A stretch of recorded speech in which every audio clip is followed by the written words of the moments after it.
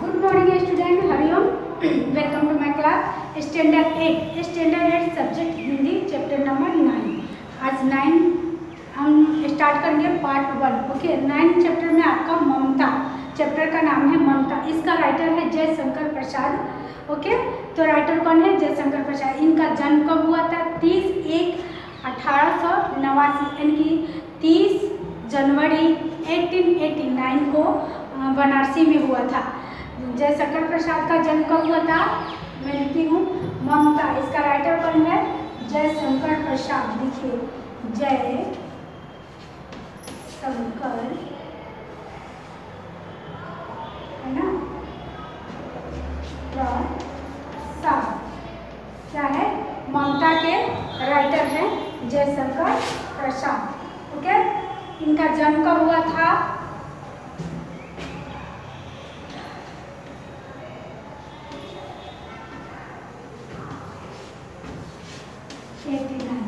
Okay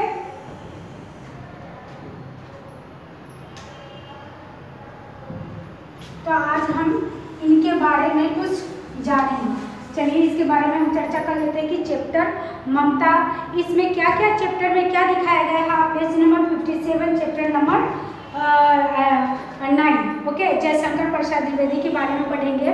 जैसे बेटी के लिए पिता की चिंता, इसमें क्या है आपके बारे में मैं बता रही हूँ कि इसमें बेटी के लिए पिता का चिंता अनिवार्य है ओके तो भारतीय संस्कृति में अतिथि को देवता माना गया है। क्या कहा गया है? भारतीय संस्कृति में अतिथि को हम क्या मानते हैं? मेहमान मेहमान, देवता मानते हैं मेहमान को, अतिथि मीन्स मेहमान। तो देवता से किसका हम तुलना करते हैं? देवता से अतिथि देवो भव यानी कि हमारे घर में कोई मेहमान आ जाता है, कोई अतिथि आ जाता है तो हम कितने प्रसन्न हो जाते हैं। और बच्चों, हमको अपने अतिथि और मेहमान का बहुत ही मान सम्मान रखना चाहिए, आदर करना चाहिए, ओके? तो अगर वो आते हैं हमारे घर में तो हमें खुशी होती है और हम उनका तुलना देवता से करते हैं। उसके धर्म और जाति पर ध्यान दिए बिना ही उसका स्वागत करने के लिए क्या करते हैं? हम तैयार रहते हैं। हम ना तो उसके जाति पाति का ध्यान देते हैं और ना उसके धर्म के पे जाते हैं। न उसके बारे में बस सिर्फ़ ये जान जाते हैं कि हमारे दरवाजे पे कोई अतिथि आया है मेहमान आया है तो हम उसका आदर, सत्कार, मान, सम्मान कैसे करें? ओके? और हमें बहुत खुशी होती है। और हमें ऐसा ही करना चाहिए ओके तो इतिहास के आधार पर लिखी गई जयशंकर प्रसाद की कहानी प्रमुख सूत्र में क्या है? बंधा हुआ है है ना? प्रमुख सूत्र है अतिथि देवो भव। उनका जयशंकर प्रसाद का सूत्र क्या था? अतिथि देवो भव। यानी कि अतिथि का तुलना हम देव से करते हैं। कहानी की मुख्य पात्र ममता इसी भावना के अनुसार बनी। है कहानी की मुख्य पात्र ममता इसी भावना से बनी हुई है। इसका त्याग में आचरण हमें प्रभावित किए बिना नहीं रहती। इसका जो विवरण दिया गया, त्याग में दिया गया, उसे हमें बिना प्रभावित किए हुए नहीं रहती है। ओके? तो हम चलिए आगे पढ़ेंगे, आगे देखेंगे कि जयशंकर प्रसाद जयशंकर प्रसाद का जन्म तीस एक अठारह सौ नवासी में बनारसी में हुआ था, प्रसाद जी मूलतः कवि है। क्या है यह कवि है? उन्हें, उन्होंने नाटक, कहानियाँ, निबंध और उपन्यास भी लिखे। उनकी रचनाओं में मुख्यतः रूप से भारत की ऐतिहासिक संस्कृति को झलक मिलती है। उनके प्रमुख नाटक हैं चंद्रगुप्त, सब लिखते हैं। चलिए, इनके जयशंकर जी के प्रमुख नाटक कौन है? जयशंकर प्रसाद के प्रमुख नाटक प्रमुख ओके? प्रमुख नाटक जयशंकर प्रसाद के प्रमुख नाटक हैं। है। चंद्रगुप्त लिखिए। चंद्रगुप्त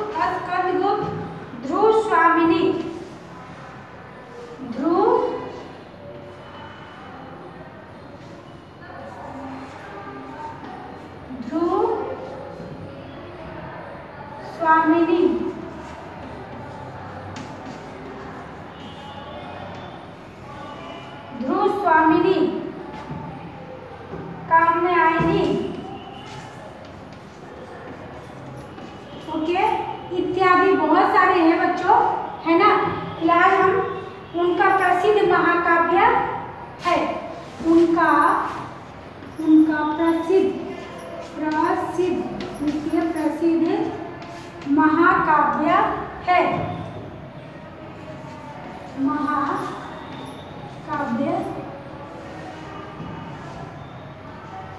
है ओके उनका निधन उनका निधन मीन्स मृत्यु है ना देख आप तो जानते हैं ना बच्चों निधन किसको बोलते हैं उनका निधन 14 एक उन्नीस सौ सैंतीस को हुआ था लिखिए यहाँ फोर्टीन जनवरी 1937 1937 को हुआ था को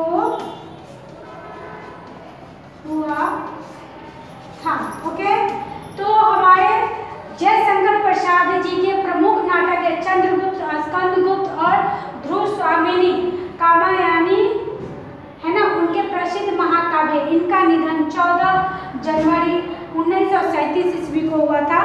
इसके आगे चले, जयशंकर द्वारा रचित इस कहानी की नायिका ममता है। ममता क्या है? ममता विधवा है। रोहतास रोहतास दुर्ग के मंत्री चूड़ामणि अपनी इस अपनी इस एकमात्र स्नेह पर पालिता पुत्री के दुख से अत्यंत दुखी है। हम जब इसमें पढ़ेंगे तो इस स्टोरी का कहानी आपको पता चलेगा।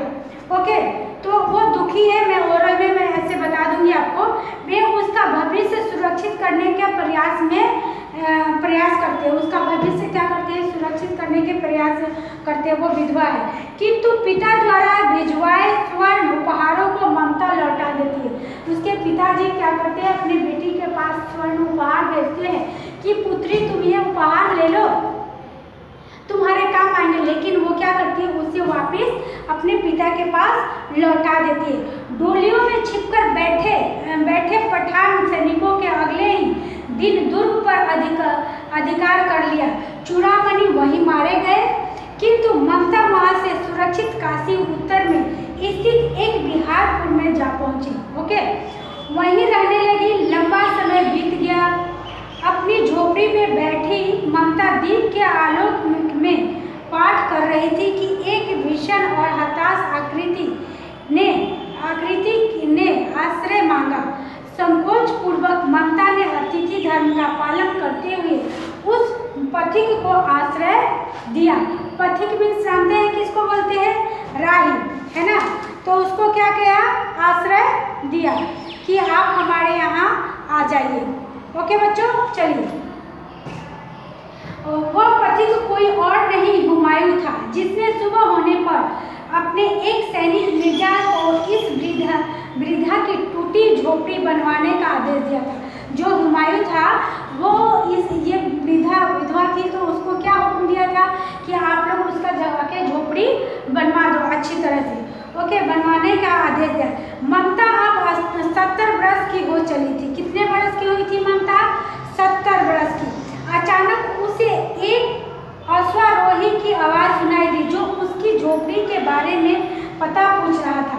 उसे अचानक किसी की आवाज़ सुनाई दी तो क्या सुनाई दी कि उसके झोपड़ी के बारे में वो पूछा। ममता उस मुगल अश्वारोही को वह स्थान सौंप अनंत यात्रा पर चली गई। उस स्थान पर एक आकर्षक मंदिर बना दिया। एक आकर्षक मंदिर बना, जिससे शिलालेख पर सातों देश के नरेश, हिमायू और उसके पुत्र अकबर का नाम तो था, किंतु ममता का कहीं ज़िक्र न था। हुमायूं का बेटा कौन है बच्चों हुमायूं को बेटा का नाम अकबर। लेकिन वो उसके ऊपर सौंप के चली गई थी तो हुमायूं ने क्या किया? वहाँ एक महल झोपड़ी अच्छा सा बनवा दिया था। लेकिन वहाँ क्या था? ममता का कोई ज़िक्र नहीं था। ओके तो फोर्टी फिफ्टी पेज से फिफ्टी एट आएँगे। और देखेंगे कि आपको इसमें बताया रोहतास दुर्ग के प्रकोष्ठ में बैठी हुई होती ममता सोनू के तीक्ष्ण गंभीर प्रवाह को देख रही थी। मन में वो वेदना वेदना में पीड़ा मस्त में आंधी, आँखों में पानी की बरसात लिए वह बिकल रही थी। वेदना, पीड़ा, आँखों में आँसू लिए वो क्या कर रही थी? बिकल रही थी। है ना? वह रोहतास दुर्ग के मंत्री चूड़ामणि की एकता एकमात्र दुहिता थी। है ना? दुहिता मीन्स पुत्री। दुहिता थी। दुहिता मीन्स पुत्री। ओके चलिए, यहाँ लिख देते हैं। दुहिता, पुत्री। किसको बोलते हैं? दुहिता, पुत्री को। ओके पुत्री। चलिए। पुत्री। दुहिता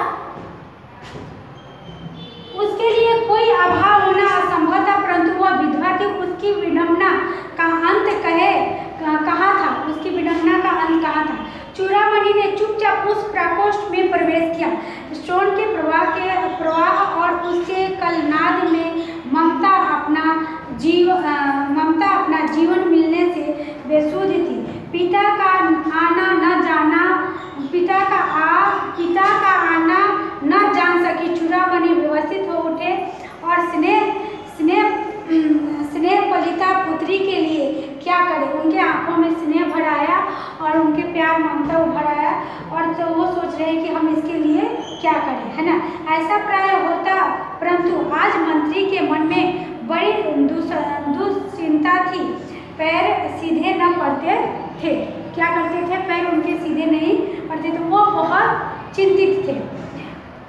एक पहर बीत जाने पर वे फिर ममता के पास गए। एक पहर में कुछ समय बीत गया तो वो क्या गए, किसके पास गए? ममता के पास गए। उस समय उनके पीछे दस सेवक चांदी के बड़े थाले में कुछ लिए खड़े थे। उसके पीछे पिताजी साथ में गए तो उसके पीछे कौन सेवक उनके दस चाली के थाली में चांदी के सिक्के लेके खड़े थे। कितने ही मनुष्यों के पद, शब्द सुन ममता ने घूम कर देखा। मंत्री ने सब थालों पर रखने का संकेत दिया। अनुचर थाल रखकर चले गए। मंत्री ने क्या किया कि आप सब यहाँ थाल रख दो और आप चले जाओ, ओके? ठीक है?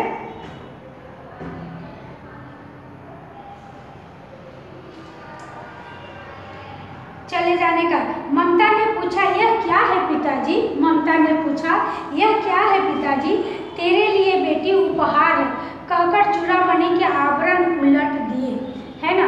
उसके बाद से उन्होंने क्या किया? आवरण उलट दिया। आवरण से ढका हुआ वस्त्र था, उसका उन्होंने उलट दिया। चलिए यहाँ लिखा आवरण। आवरण में क्या होता है? आवरण। ढका हुआ वस्त्र।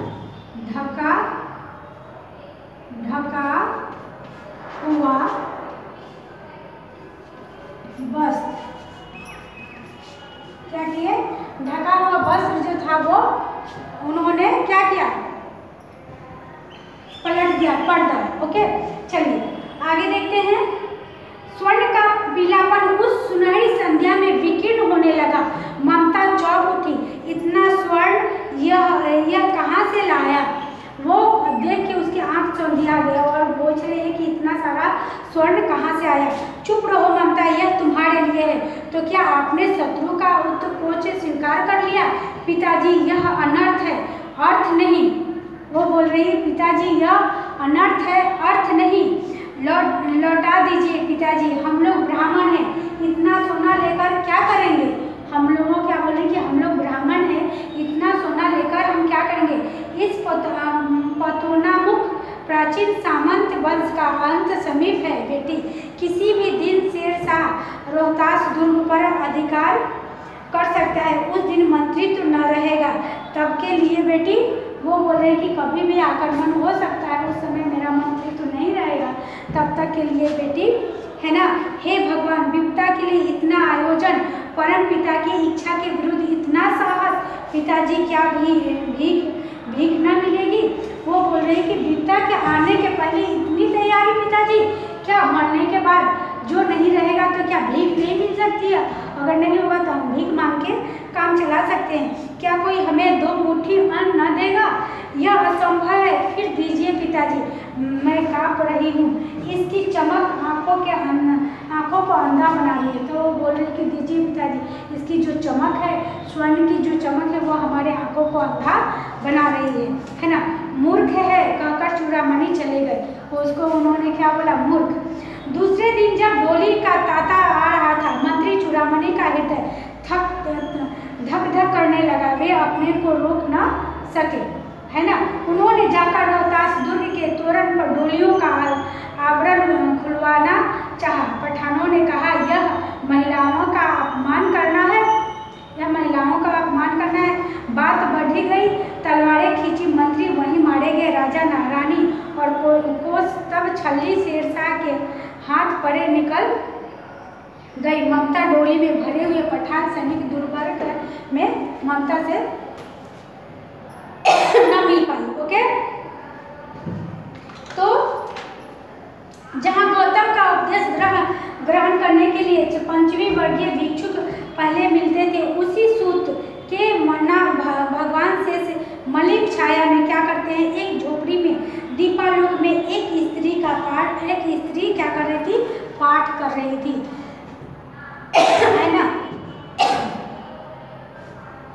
जहाँ गौतम का उपदेश ग्रहण करने के लिए पंचवर्गीय भिक्षु पहले मिले थे, उसी स्तूप के भवन भवनावेश की मलिन छाया में एक झोपड़ी के दीप लोक में एक स्त्री पाठ कर रही थी। ओके? अन्याय अन्याय विश्वंतो माँ ये जाना पशु परियो आसते है ना रुक गया। एक भीषण और हताश आकृति दीपक के मंद प्रकाश में सामने खड़ी थी। स्त्री उठी, उसने कपाट बंद करना चाहा, परंतु उस व्यक्ति ने, माता, मुझे आश्रय चाहिए। उसने जैसे दरवाज़ा बंद करना चाहिए। तो वो व्यक्ति क्या बोला, मुझे आश्रय? तुम कौन हो? स्त्री ने पूछा। है ना? मैं मुगल हूँ, चौथा युद्ध में शेरशाह से विपन्न होकर रक्षा कर चाहता हूँ। इस रात अब, इस रात अब आगे चलने में असमर्थ वो बोला कि मैं शेरशाह हूँ। इस रात में आगे चलने में असमर्थ हूँ, इसलिए आप मुझे अपने शरण में रखिए, ओके? ऐसे क्या शेरशाह से स्त्री ने अपने ओट काट लिए? हाँ माता परंतु वही भीषण रक्त की प्यास, वही निष्ठुरता, प्रतिबिंब तुम्हारे मुख पर भी है। सैनिक मेरी कुटी में स्थान नहीं। जाओ, कहीं दूसरा आश्रय खोज लो। वो बोलती है कि तुम भी उसी के जैसे क्रूर हो। हमारे कुटिया में आश्रय रहने के लिए नहीं है। आप कहीं और जाके आश्रय अपना ढूंढ लीजिए। है ना? असरोही पास आया। ममता ने रुक रुक कर कहा, मैं नहीं जानती कि वह सहनसा था या साधा, साधारण मुगल पर एक दिन इसी झोपड़ी के नीचे बढ़ रहा। मैंने सुना था कि वह मेरा घर बनवाने की आज्ञा दे चुका था। भगवान ने सुन लिया, आज मैं इसे छोड़ जा, छोड़, छोड़े जाती हूँ। अब तुम इसका मकान बनवा या महल, मैं अपने चिर विश्राम गृह में जाती हूँ। वो बोलती है कि मैं इसे छोड़ जाती हूँ। तुम मकान बनाओ या गृह बनाओ या झोपड़ी बनाओ मैं इसे अपने छोड़ जाती हूँ और चिर विश्राम गृह में जाती हूँ ओके चलिए, अभी आगे देखेंगे। बुढ़िया के प्राण पखेरु उड़ गए। बुढ़िया के प्राण पखेरु ना मतलब उड़ जाना। प्राण पखेरु उड़ जाना, है ना? मतलब प्राण निकल जाना।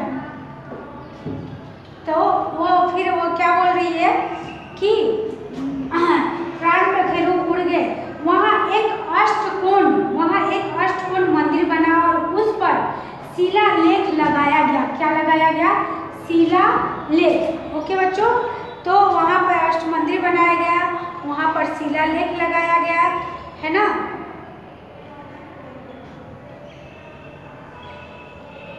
लगाया गया। सातों देश के नरेश हुमायूं ने एक दिन यहाँ विश्राम किया था। क्या किए थे? नरेश हुमायूं ने एक दिन यहाँ यहाँ के विश्राम मीन्स आराम करना, आराम किए थे।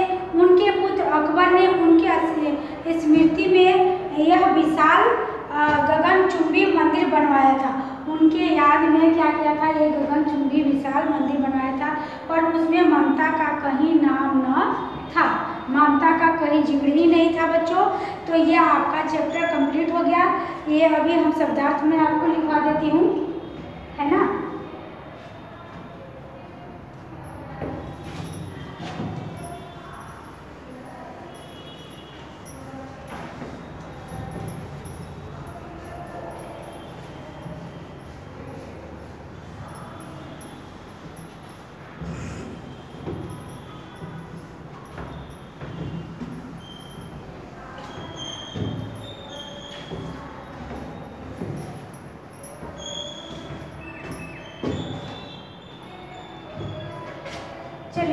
Thank here.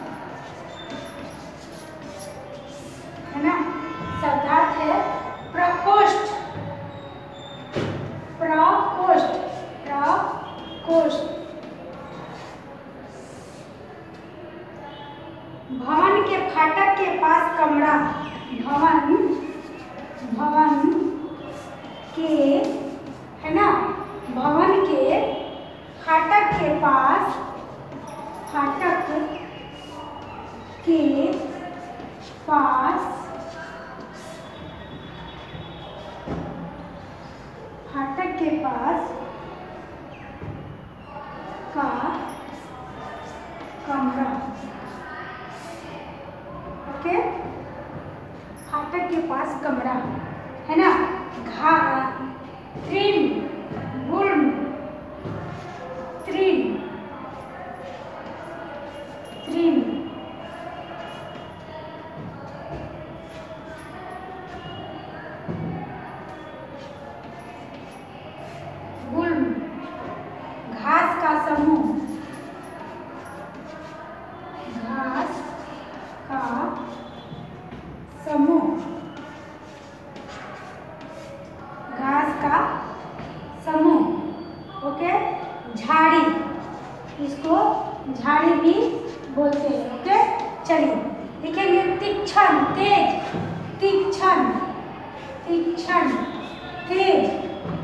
लिए तेज।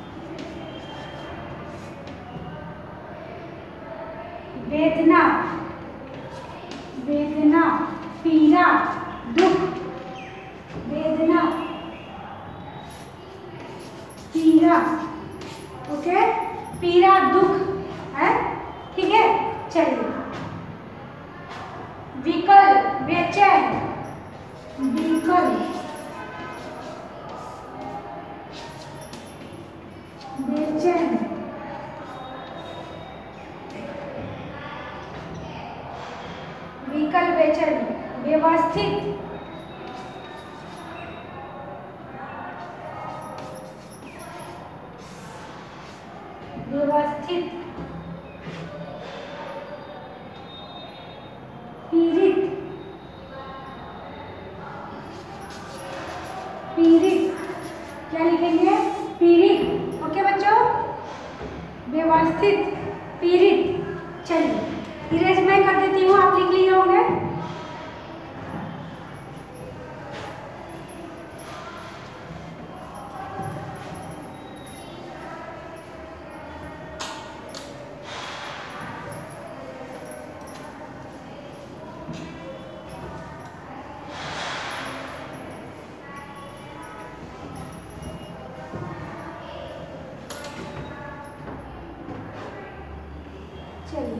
पीरित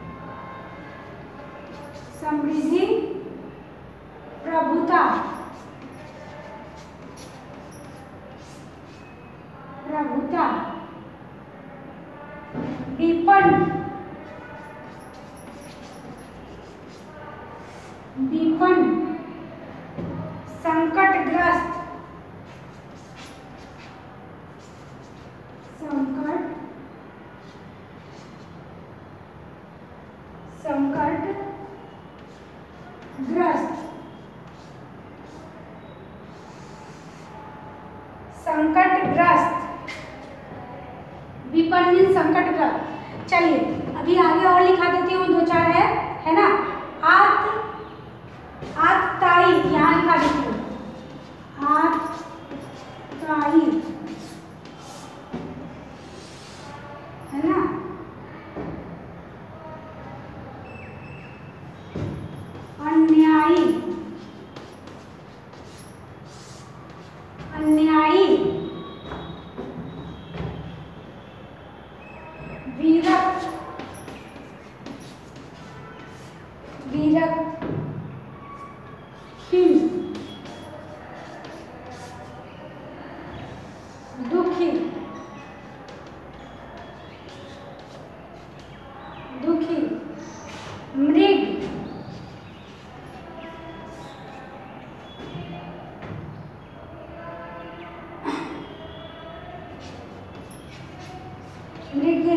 शिकारियों के भय क्या लिखेंगे शिकारियों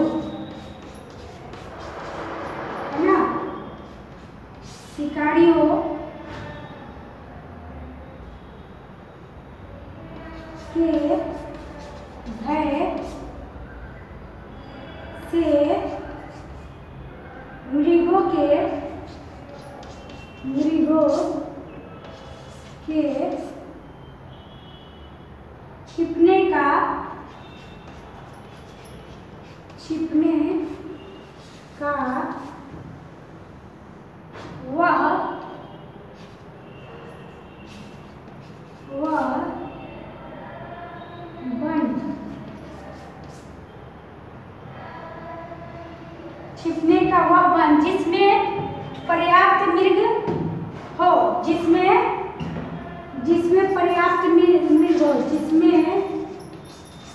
पर्याप्त मृग हो।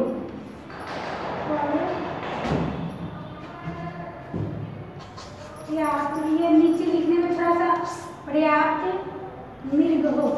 आपको दिखेगा, है ना?